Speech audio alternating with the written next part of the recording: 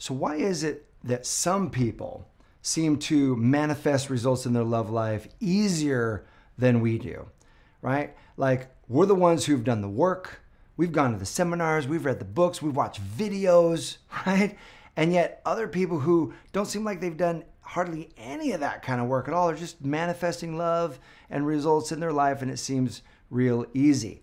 I was on a coaching call recently, and one of my clients had this question where she said, You know, how do I not look for love? And I said, Well, tell me more. And she goes, Well, I have these people in my life telling me you'll find it when you're not looking.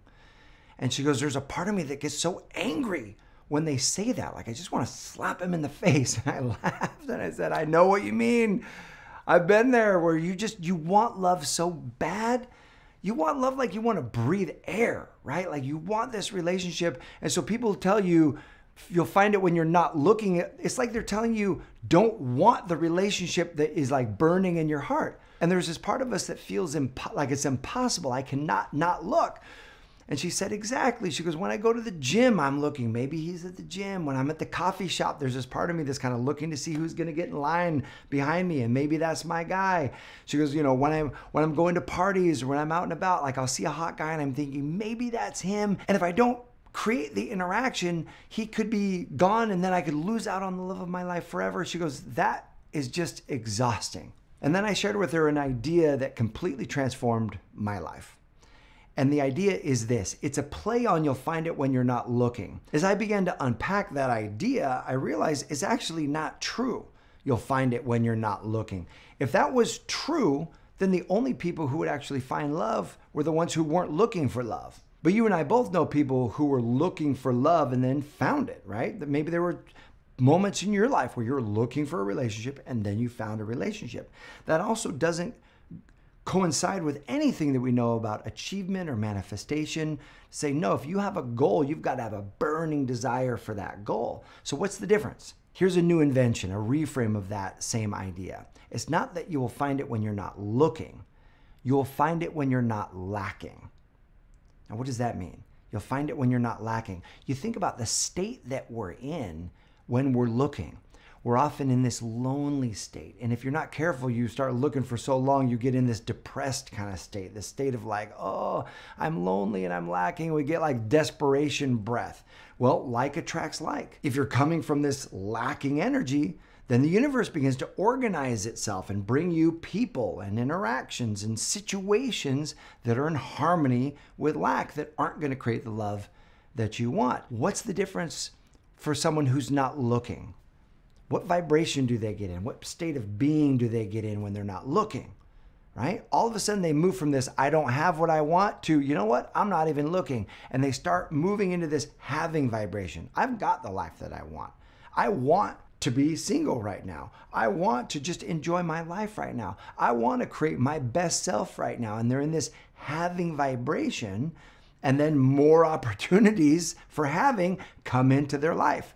So that's the mental move that we've got to make. There was a woman named Jennifer who came through my Manifest Your Man coaching program. Her story is a perfect example of this. She had two kids and single mom. The story that she was telling herself was that guys don't want all that baggage, having those two little kids, and a lot of guys want to have kids of their own. And so that began to get in her way that compounded the results. She wasn't meeting any guys that she was interested in. She was super smart, beautiful, and yet it was this constant mismatch. And so then she started to get into this lacking vibration, and that just compounded it to the point where she was discouraged, she was depressed about her love life. Then she joined the Manifest Your Man program and she began to shift her mentality. She began to shift her energy from I'll have it when I'm not looking to I'll have it when I'm not lacking. So, how can she move to this having vibration? I'll give you three tips at the end of this video for how to shift into a having vibration. But Jennifer shifted this energy, met this guy. First guy in a long time that she was actually excited about. This guy wasn't everything that she wanted, but he was sexy, he was smart, he was funny, and they enjoyed dating they even kissed and like there was electricity. She was like, "Oh my gosh, I haven't felt sparks in so long." She was like, "This is great."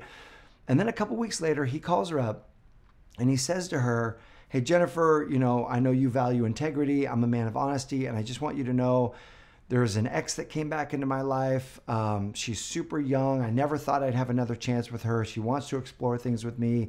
She's not someone I want to marry. Like, you're the kind of girl that I could marry, but I just don't want to pass up the opportunity to just be with this other woman. And I want to let you know that. And Jennifer was telling me the story saying, in the past, that version of her, a past version of her, would have been devastated by that news.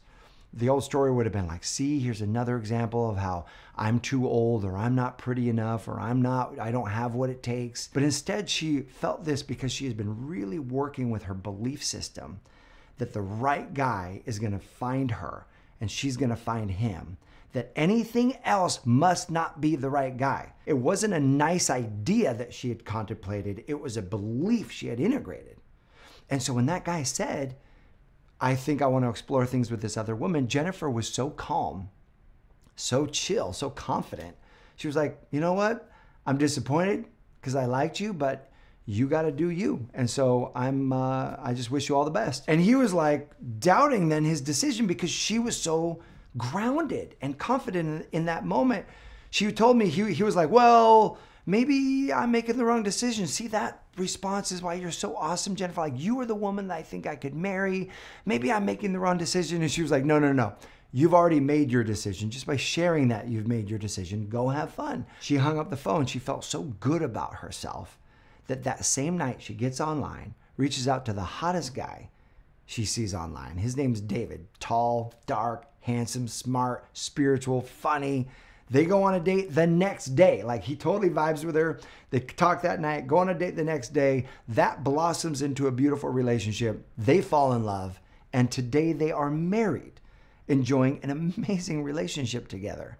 Because Jennifer came from this state of abundance, a love abundant mindset, not from lacking. Like, I don't have what I want, coming from this place of I already have what I want and now I'm just manifesting it. So, what are some ideas for how we can move from lacking into abundant energy?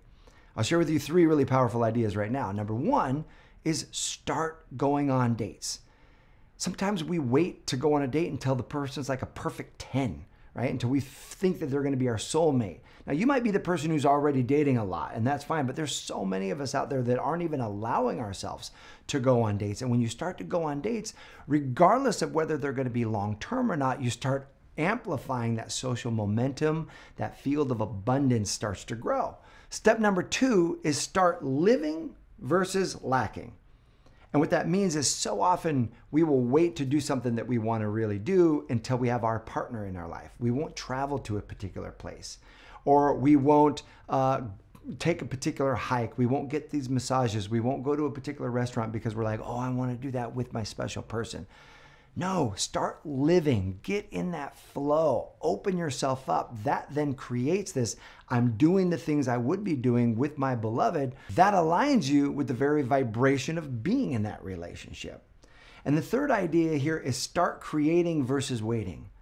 Start creating versus waiting. In other words, there's activities that you want to create with, you want to express life. It might be dancing, it might be painting, it might be acting, it might be creating video content, inspirational content. When you're creating, you're bringing about new life in your world, and that generates this abundance vibration. There was a woman who came through Manifest Your Man. She was like, okay, I'm going to start living, I'm going to start creating. And she was like, It's been a long time since I've danced. I've kind of waited until I had my partner. I'm going to start dancing now. And so she took a dance class called the Five Rhythms Dance Class. She put that in her online profile. Her man, that they hadn't met yet, he's out there looking for her. He loves Five Rhythms. When she posted that on her profile, he read that she loved the Five Rhythms and he was like, You love the Five Rhythms?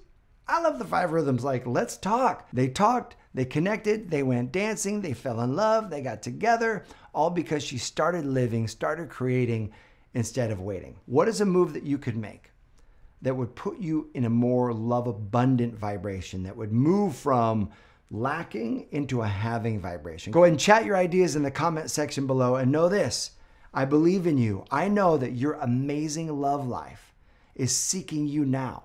And as you open up your life to those ideas, things start coming out of the blue and you will create the love abundance that you seek. Thanks so much for watching. I appreciate you. I'll see you soon.